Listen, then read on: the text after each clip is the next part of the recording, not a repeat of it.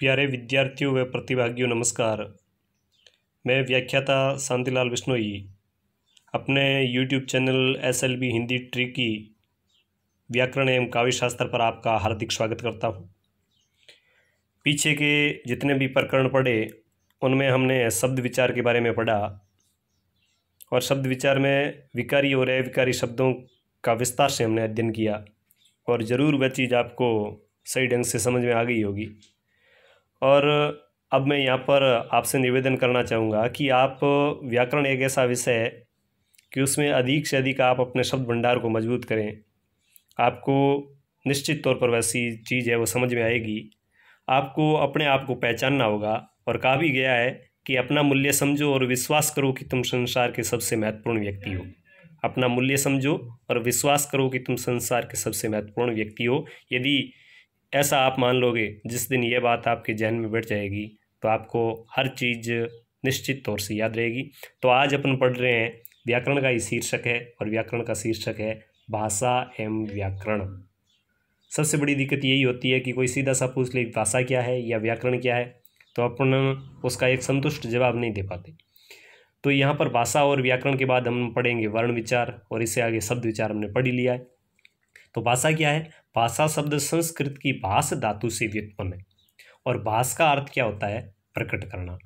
यानी वह साधन या वह माध्यम जिसके द्वारा हम अपने मनोभावों को प्रकट करते हैं और दूसरों के मनोभावों को हम समझते हैं तो वह जो विचार विनिमय का माध्यम है, वह क्या है? भाषा। अपने भावों को दूसरों तक पहुंचाना या प्रकट करना, दूसरे के भावों को समझना, यानी ये बीच में जो माध्यम है जो विचार विनिमय का साधन है, वही क्या है? भाषा है। अब भाषा में सबसे पहले अपन बात करते हैं किसकी? वर्ण की।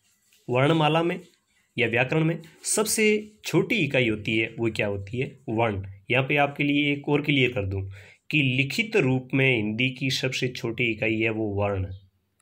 और इस सबसे छोटी इकाई की बात करें तो वो इकाई होगी ध्वनि। भाषा की सबसे छोटी इकाई ध्वनि। और यदि आपसे पूछ लिया जाए कि लिखित रूप में भाषा की सबसे छोटी ध्वनि, सबसे सबसे छोटी इकाई क्या है तो वो क्या होगी? वर्ण। तो भाषा की सबसे छोटी इकाई ध्वनि है और ध्वनि को ही अपने क्या कहते हैं? वर्ण कहते हैं। कहने का अर्थ यह है कि जब हम भाषा का प्रयोग वाग इंद्रिय द्वारा करते हैं, तब तो वह कहलाती है ध्वनि। लेकिन जब उसको अपन लिखते हैं तो लिखित रूप में वही ध्वनि क्या कहलाती है? वर्ण कहलाती है। अब अपन पढ़ते हैं कि भाषा में या व्याकरण में मुख्यतः किन तत्वों की विवेचना की जाती है। तो भाषा, किसी भाषा के व्याकरण ग्रंथ में इन तीन तत्वों की विशेष महत्ता रहती है जिस पर चर्चा होती है, जिसमें एक है वर्ण विचार, शब्द विचार और वाक्य विचार। शब्द विचार हम पूरा पढ़ चुके हैं। यदि आपका इसको विस्तृत अध्ययन करना हो तो आप इस वीडियो की डिस्क्रिप्शन में जाकर संपूर्ण शब्द विचार के बारे में पढ़ सकते हैं। आज हम पढ़ रहे हैं वर्ण विचार और आगे की वीडियो में पढ़ेंगे वाक्य विचार। हिंदी विश्व की सभी भाषाओं में सर्वाधिक वैज्ञानिक भाषा है। सर्वाधिक वैज्ञानिक भाषा की बात करें तो वह हिंदी है और हिंदी में मूल रूप से कुल वर्णों की संख्या मानी गई है चौवालीस, जिसको अपन दो भागों में बांट सकते हैं। एक का नाम दे सकते हैं स्वर और दूसरे का नाम है व्यंजन। तो ये हिंदी भाषा के वर्ण हैं, वो दो भागों में विभाजित है, स्वर और व्यंजन। अब स्वर क्या है? स्वर ऐसी ध्वनियाँ हैं जिनका उच्चारण करने में अन्य किसी ध्वनि की आवश्यकता नहीं होती, उन्हें क्या कहते हैं? स्वर। कहने का अर्थ यह है कि यह स्वतंत्र इकाई है। स्वर है वो क्या है? स्वतंत्र है, इनका उच्चारण में किसी अन्य स्वर की या व्यंजन की आवश्यकता नहीं होती और इनकी संख्या होती है कितनी? ग्यारह। स्वरों की संख्या कितनी? ग्यारह। ऐसे लगाकर संस्कृत के री तक। अब संस्कृत में एक शब्द और आता है, एक वर्ण और आता है लिरी जो अपने हिंदी में यहाँ पे प्रयुक्त नहीं होता है, लेकिन ये री और लिरी मुख्य रूप से संस्कृत के हैं। तो ये ग्यारह स्वर हो गए। अब इन स्वरों को भी विस्तारित विस्तार रूप में देखें तो इनको भी दो भागों में बांटा है। स्वर है, इनको भी दो भागों में बांटा गया है, जिसमें एक है रस्व स्वर और एक है दीर्घ स्वर। यानी अपन इसको कह सकते हैं लघु और दूसरे को गुरु। लघु और गुरु भी कह सकते हैं रस्व और दीर्घ भी कह सकते हैं, छोटा और बड़ा भी कह सकते हैं। कहने का तात्पर्य यह है कि जैसे अ या आ या ई, नहीं, आ नहीं सॉरी आ नहीं। जैसे अपन, मैं आपको रस्व दीर्घ मंत्र बता दूँ। ए ई उ और री, ये चार क्या है?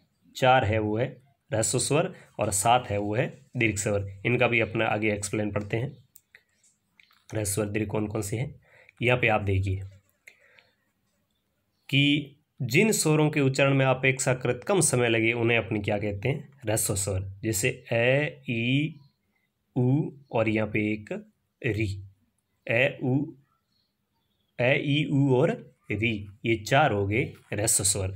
और जिन स्वरों के उच्चारण में अधिक समय लगे, यानी रस्व स्वर के मुकाबले अधिक लगे, उन्हें अपन कहते हैं दीर्घ स्वर, जिसको बड़ा भी कह सकते हैं, गुरु भी कह सकते हैं, इन्हें मात्रा द्वारा भी दर्शाया जाता है, ये दो स्वरों के मेल से बनते हैं। मतलब जो दीर्घ स्वर है, वो क्या होते हैं, दो स्वरों के मेल से बनते हैं। जैसे आप अ प्लस ए से आ कर दोगे तो आ क्या हो गया? दीर्घ स्वर हो गया। और इन्हें संयुक्त स्वर भी कहा जाता है। यह बात भी आप ध्यान रखें कि जो दीर्घ स्वर है सात सात दीर्घ स्वर है, उनको क्या जगह कहा जाता है? संयुक्त स्वर। क्यों? क्योंकि वो दो स्वरों की मेल से बन रहे जैसे आप देखिए, आ, ई, उ, ए, आई, ओ, औ मतलब ये तीन तीन छः और सात। ये सात ऐसे हैं जो किन्हीं दो स्वरों के योग से बने हैं और स्वरों को मात्रा में इस प्रकार दर्शाया जाता है। जैसे ए विशेष तौर पर इसकी कोई मात्रा नहीं होती। फिर आप बात करोगे आ की तो आ की एक मात्रा होती है, ई की छोटी मात्रा है। इस प्रकार ये सब की जो मात्राएँ हैं, वो दर्शाई जाती है, जो वर्णों पे लगती है। अब दूसरा भेद आता है, वो आता है व्यंजन का। व्यंजन क्या है? जो ध्वनियाँ स्वरों की सहायता से बोली जाती है, उन्हें व्यंजन कहते हैं। जैसे कै बोलते हैं, तब कै के लिए हम प्लस में ए स्वर मिला के बोलते हैं, यानी इसका कोई स्वतंत्र अस्तित्व नहीं है, इसका कोई उच्चारण नहीं है, इसका कोई अर्थ नहीं है जब तक साथ में स्वर नहीं मिलता है, तब ये, तब तक ये परिपूर्ण नहीं है।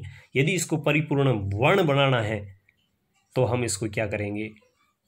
ए का इसके साथ प्रयोग करेंगे, जिससे अपन कै लिखेंगे तो कै का मतलब इसके साथ में क्या मिला हुआ है? ए वर्णा कै क्या रह गया? अलंत।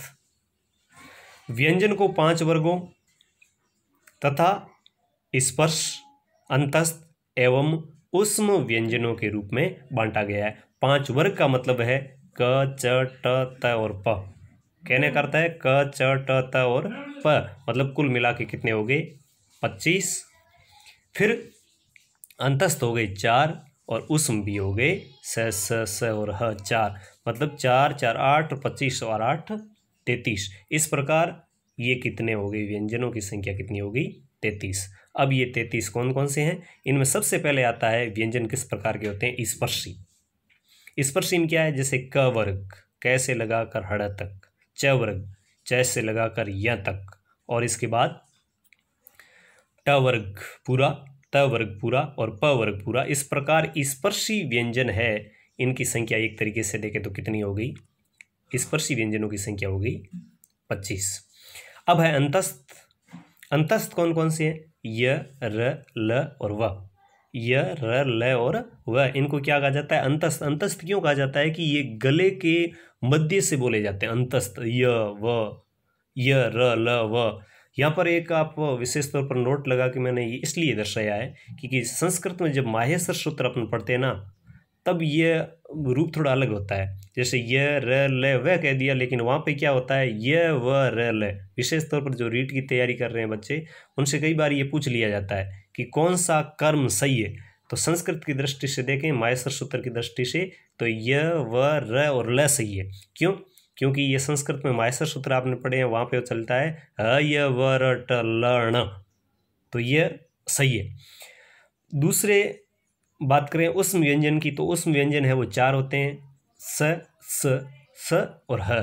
मतलब इनका भी उच्चारण स्थान है, जैसे तालु है स का फिर मुर्दा है, या फिर दंता है तो इनका उच्चारण अलग अलग है। इसके बाद आते हैं संयुक्ताक्षर। उन चौवालीस के बाद, ग्यारह, तैतीस के बाद संयुक्त अक्षर आते हैं, वो हिंदी में कितने माने गए हैं? स, त्र और य मतलब क और स के मेल से बन रहा है। त और र के मेल से बन रहा है। ज और य ज और य के मेल से बन रहा है। अब देखो यहाँ पर य में क्या होता है कि लोग ग और य से बना देते हैं। ग और य से य बना देते हैं, जबकि ये बनता किससे है? ज और य से बनता है। इस बात का विशेष तौर पर ध्यान रखें। इसके अलावा एक संयुक्त और आता है, जैसे स्र। तो वो बनता है स और र के योग से। तो स्र बन गया। अब हिंदी वर्णमाला में इस प्रकार कुल ग्यारह स्वर, तैतीस व्यंजन, कुल मूल वर्ण हो गए वो कितने हो गए? चवालीस और तीन संयुक्ताक्षर हो गए। इसके अलावा हिंदी में और क्या चलता है? कुछ आगत ध्वनियाँ होती है, जैसे क, ख, ग, ज और फ। ये पाँच अरबी और फारसी से आई हुई आगत ध्वनियाँ हैं, या आगत वर्ण है। इनको आप देख लें एक बार, क, ख, ग, ज और फ। इनको भी जब इनके साथ मिला दिया जाता है तो ये हो जाते हैं उनचास। एक श्रय हो गया पचास। और एक ढ और ड, इनको भी अलग से माना जाता है, जिनके नीचे नुक्ता लगा हुआ है। तो इस प्रकार विस्तारित रूप में देखें तो हिंदी में कुल वर्णों की संख्या आजकल बताई जाती है, वो कितनी आती है? बावन। कुल की बात करें तो। मूल की बात करें तो कितनी? चौवालीस। अब वर्णों के उच्चारण स्थान क्या है? उच्चारण स्थान ये विशेष रूप से बात देखें तो टॉपिक संस्कृत का है। और मैं भी संस्कृत का विद्यार्थी रहा हूँ तो आपको यहाँ पर भी ये चीज़ क्लियर कर दूँ कि इन वर्णों का उच्चारण स्थान, चाहे स्वर है, चाहे व्यंजन है तो इनका उच्चारण स्थान आप यहाँ पे आप देख लीजिए कि मैंने यहाँ पे बताया है। और उसमें वर्ण क्या है? उच्चारण स्थान क्या है? वर्ण क्या है? उच्चारण स्थान कौन सा है? और वर्ण ध्वनि का नाम क्या। तो देखिए, अ, आ और पूरा क वर्ग और विसर्ग, इनका उच्चारण स्थान है कंठ कोमल तालु। यानी ये कंठ से बोले जाते हैं, इसलिए इनको कंठीय ध्वनि कहा जाता है। ए और आ मतलब स्वर के शुरुआती दो, क वर्ग पूरा और विसर्ग। बात करें दो नंबर की मतलब ए, आ के बाद ई और ई। आगामी स्वर दो है वो, पूरा च वर्ग, ये और स। इनके उच्चारण स्थान है तालु। संस्कृत में सूत्र होता है, इच्चु ईशा नाम तालु। तीन नंबर पे है, री। ए, आ, ई ई के बाद क्या आता है? री। आप इनको कर्म वाइज याद कर लें। री, ट वर्ग पूरा, च वर्ग के बाद ट वर्ग आता है, ये के बाद रे आता है और स के बाद स आता है। तो ये पूरा है रिटूर साणाम उसका होता है मूर्धा और ध्वनि का नाम मूर्धन्य। चार नंबर पे ली है, री के बाद ली आता है, ट वर्ग के बाद तय वर्ग आता है, ये र के बाद ले आता है और स के बाद स आता है। तो ये कर्म वाइज चीज़ें चलेगी। और इनका नाम क्या है? लिरी तुलसा नाम दंता। तो इनका उच्चारण स्थान है दंतीय कहेंगे इनको। ऊर, ऊ, इनके बाद आएँगे। पय वर्ग इनके बाद आएगा। तो उपद्यमान ऑस्ट्रो यानी ऊ ऊ और पय वर्ग का उच्चारण स्थान क्या है? होठ। इसके बाद आप देखेंगे छः नंबर पे। तो छः नंबर पे क्या है? अंग। न न, म। मतलब ये नाक से उच्चारण हो रहा है इनका, इसलिए इनको नासिका से है और नासिक नासिकी कहा जाता है ए आई। बोल के देखिए, ए आई मतलब कंठ और तालु, दोनों का प्रयोग हो रहा है तो इनको कहा जाता है ए तो दो कंठ तालु। कंठ तालु भी ध्वनि होगी। ओ ओ कंठोष्ठ कंठ और होठ प्रयोग हो रहा है तो ये कंठोष्ठ हो गया। और वह वह ऐसा शब्द है जिसका उच्चारण स्थान है दांत और होठ तो इसलिए इसको क्या कहेंगे अपन? दंतोष्ठ नोट। अनुनासिक वर्णों का उच्चारण स्थान, जैसे यहाँ पे आपने देखे अनुनासिक वर्ण, इनका उच्चारण स्थान अपने वर्ग के साथ, जैसे ये जितने वर्ग थे, अपने वर्ग के साथ नाक भी होता है। मतलब नासिका तो है ही, लेकिन ये अपने अपने जो वर्ग है, जैसे कै वर्ग का ये था कंठ, ये च वर्ग का ये था तो ये भी इनके साथ आएँगे। तो ये बात थी इनके उच्चारण स्थान की।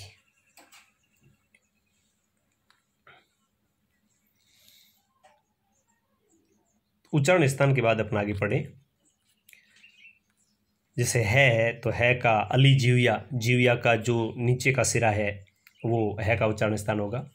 अब यहाँ पे आपके लिए मैं कुछ क्लियर कर दूँ कि अनुनासिक ध्वनियों के उच्चारण में वर्ण विशेष का उच्चारण स्थान के साथ साथ नासिक का भी योग रहता है। अतः नासिक का, अनुनासिक वर्णों को उच्चारण स्थान और उस वर्ग का उच्चारण स्थान नासिका भी होगा। जैसे क का कंठ भी होगा हृदय का कंठ भी होगा और हृदय का नासिका भी होगा। जैसे अंग में कंठ और नासिका दोनों का योग होता है, अतः इसका उच्चारण स्थान कंठ नासिका होगा। अन्य नासिकों के उच्चारण स्थान दो होते हैं। ये आप विशेष तौर पर ध्यान रखें कि अनुनासिक वर्ण है, उनके उच्चारण स्थान अपना वर्ग और नासिका मतलब दो होते हैं। उच्चारण की दृष्टि से व्यंजनों को आठ भागों में बांटा गया है। अब व्यंजन है, उनको उच्चारण की दृष्टि से कितने भागों में बांटा गया है? आठ भागों में। एक है स्पर्शी। मैंने आपको बताया कि जिन व्यंजनों के उच्चारण में फेफड़ों से छोड़ी जाने वाली हवा वाग यंत्र के किसी अवयव का स्पर्श करती है। मतलब फेफड़ों से जो हवा आती है, वो अपने वाग यंत्रों का कहीं ना कहीं स्पर्श करती है, फिर बाहर निकलती है, उनको अपने कहते हैं स्पर्शी। जैसे स्पर्शी, क, ख, ग, घ, ट, ठ, ड, ढ, त, थ, द, ध और प, फ, ब मूल रूप से ये पाने जाते हैं स्पर्शी। इसके बाद आते हैं संघर्षी। शब्दों से पता लग रहा है, संघर्षी क्या है? कि जिन व्यंजनों के उच्चारण में दो अवयव इतनी निकटता पर आ जाते हैं कि बीच का मार्ग छोटा हो जाता है और वायु घर्षण करती हुई निकलती है, संघर्ष करती हुई निकलती है, उनको कहा जाता है संघर्षी। जैसे स स स, ह, ख, ज और फ। ये क्या हो गए? संघर्षी हो गए। अब इसके बाद है स्पर्श संघर्षी स्पर्श संघर्षी कौन कौन से है? कि जिन व्यंजनों के उच्चारण में स्पर्श का समय बहुत कम हो जाता है, अपेक्षाकृत स्पर्श है वो बहुत ज़्यादा हो जाता है और उच्चारण के बाद वाला भाग संघर्षी हो जाता है। स्पर्श पहले और फिर संघर्षी। तो ऐसे क्या कहलाते हैं? स्पर्श, संघर्षी और स्पर्श संघर्षी कौन कौन से हैं? च, छ, ज और झ। ये किस श्रेणी में आते हैं? स्पर्श, संघर्षी की श्रेणी में। उसके बाद है नासिक्य। नासिक जैसे शब्द पता लग रहा है हवा है वो नाक से निकलेगी और ये होते हैं जो अण ये अण न और म, ये किसमें आएँगे? नासिक में। अब एक शब्द होता है बहुत ही महत्वपूर्ण शब्द है आपके लिए। ये दोनों शब्द आपके लिए बहुत ही महत्वपूर्ण है, पार्श्विक और प्रकम्पित और उत्तक्षित जिनके उच्चारण में जीविया का अगला भाग मसूड़ी से छूता है और हवा पार्श्व आसपास से निकल जाती है, उन्हें कहते हैं पार्श्विक, जैसे ल। तो लय में जीविया है, वो मसूड़ों को छूती है। परकंपित जिन व्यंजनों के उच्चारण में जीविया को दो, तीन बार कंपन करना पड़ता है, उन्हें कहते हैं परकंपित, जैसे र र बोलने पर जीव में एक कंपन होता है। उसके बाद होता है उत्तक्षिप्त जिनके उच्चारण में जीविया की नोक झटके से नीचे गिरती है तो वह कहा जाता है उत्तक्षिप्त जिसका संस्कृत मात्र होता है, फेंका हुआ, जैसे ड, ढ मतलब जीव झटके से इनको फेंकती है। इसके अलावा अगला भेद आता है संघर्षहीन का। संघर्षहीन क्या है कि जिन ध्वनियों के उच्चारण में हवा बिना किसी संघर्ष के बाहर निकलती है, वे ध्वनियाँ होती है। संघर्षहीन मतलब कोई वाग्य यंत्र से ज़्यादा स्पर्श नहीं होता। जैसे ये कौन कौन से हैं? ये और वह ये और वह बोलने में ज़्यादा कोई विशेष संघर्ष या स्पर्श नहीं होता। इनके उच्चारण में जैसा स्वर बोलते हैं, अ ई ई, वैसा ही उच्चारण मिलता है किसमें? ये और वह में। तो स्वर से मिलता जुलता प्रयत्न इनमें करना पड़ता है, इसलिए इनको अर्ध स्वर भी कहा जाता है। बहुत ही महत्वपूर्ण आपके लिए ये वर्ण है कि किन वर्णों को अर्ध स्वर भी कहा जाता है, व्यंजन होते वर्ण पर भी उनको अर्ध स्वर कहा जाता है। क्यों? क्योंकि जैसा उच्चारण स्वर का होता है, वैसा ही उच्चारण इनका होता है। अब यहाँ पे आप देखिए नोट। इसके अतिरिक्त स्वर तंत्रियों की स्थिति और कंपन के आधार पर वर्णों को घोष और अघोष में भी बांटा गया है। कौन से वर्ण घोष है और कौन से वर्ण अघोष है? घोष क्या होते हैं अघोष क्या होते हैं? घोष का अर्थ होता है नाद और अघोष का अर्थ होता है बिल्कुल शांत। तो ये क्या है? ये भी अपन पढ़ते हैं। घोष घोष का अर्थ होता है नाद या गूंज। जिन वर्णों के उच्चारण करते समय गूंज हो स्वर तंत्र में कंपन हो, उन्हें क्या कहते हैं? घोष। ये सभी वर्णों के अंतिम तीन अक्षर जैसे क वर्ग है, क वर्ग के अंतिम तीन। यानी क और ख को छोड़ के ग, घ और अंग। ये तीन, य, र, ल, व और है, इनको अपने क्या कहेंगे? घोष। जैसे यहाँ पे देखिए मैंने तीन तीन के जोड़े बनाए। तीन तीन के जोड़े बना के फिर य ल, व, ह लिखे। मतलब कुल मिला के ये कितने हो गए? बीस। बीस क्या हो गए? घोष। घोष के बाद आप देखिए अघोष। अघोष में क्या है? कि इन वर्णों के उच्चारण में प्राणवायु में कंपन नहीं होता, अतः इनमें कोई गूंज नहीं होती, इसलिए ये क्या होते हैं? एगोस। ये सभी वर्गों के पहले दो वर्ण, यानी लास्ट तीन वो हो गए तो पहले दो यहाँ पे आ गए। य, र, ल, व, ह वहाँ पे हो गए तो स स, ह यहाँ पे हो गए। तो इनको अपन क्या कहेंगे? अघोष यानी क, ख, च, छ, ट, ठ, त, थ, प, फ, स स स और है घोष में आ गया। तो इनकी संख्या कुल हो गई तेरह। मतलब ऊपर संख्या हमने पढ़ी कितनी? बीस और ये हो गई तेरह। कुल मिला के कहने का अर्थ यह है कि व्यंजन है, वो घोष और अघोष की दृष्टि से कितने आ गए? तैतीस के तैतीस आ गए, बीस आ गए ऊपर घोष में और तेरह आ गए अघोष में। तो ये एक तरीके से हमने पढ़े कि किसके आधार पर? स्वर तंत्र की स्थिति और कंपन के आधार पर, यानी उनमें गूंज और एक तरीके की नांद होती है उसके आधार पर। तो उनके आधार पर हमने पढ़े, घोष और अघोष तो इसमें आप क्लियर कर लें कि प्रथम दो होंगे, वो आ जाएँगे अघोष में, अंतिम तीन होंगे, वो आ जाएँगे घोष में। यल व और है, यानी अंतस्त और साथ में है, वो आ जाएँगे घोष में और स स और स, ये आएँगे अघोष में। अब इसके अतिरिक्त श्वास वायु के आधार पर वर्णों के दो भेद और होते हैं। श्वास वायु, यानी जिस प्रकार अपनी श्वास निकलने की गति होती है, कम और ज़्यादा, यानी प्राण। सांस का मतलब आप प्राण मान लो, जहाँ पर सांस अधिक मात्रा में बाहर निकले तो महाप्राण हो जाएगा और कम मात्रा में निकले तो अल्प प्राण हो जाएगा। तो अल्प प्राण और महाप्राण क्या है कि जिन वर्णों के उच्चारण में सांस वायु कम मात्रा में बाहर निकले, कम मात्रा में मुख विवर से बाहर निकलती है, ये सभी वर्गों के पहले तीसरे और पाँचवें वर्ण होते हैं। तो मैं यहाँ पर आपसे ये निवेदन करना चाहूँगा कि आप अल्प प्राण महाप्राण, घोष और अघोष, इसकी अलग से तालिका बनाकर इसको आप समझ लें, क्योंकि इसमें क्या होगा? अल्प प्राण में पहला, तीसरा और पांचवा। कहने का अर्थ यह है कि हर वर्ग का विषम, हर वर्ग का विषम है, वो किसमें आ रहा है? अल्प प्राण में। और उसका सम, यानी दो और चार वो किसमें आएगा? महाप्राण में। तो ये क, ग इस प्रकार मैंने तीन तीन के फिर जोड़े बनाए। आपके लिए तीन तीन के मैंने फिर जोड़े बनाए। तीन तीन तीन तीन तीन। तीन तीन मतलब ये कितने हो गए? पंद्रह हो गए। अब इसके अलावा य, र, ल, व, ये हो गए और सभी स्वर। बहुत ही महत्वपूर्ण है कि अक्सर पूछ लिया जाता है कि सभी स्वर प्राय होते हैं। तो सभी स्वर प्राय अल्प प्राण होते हैं। तो ये इसकी श्रेणी में आ गए तो कुल मिला के ये कितने हो गए? तीस।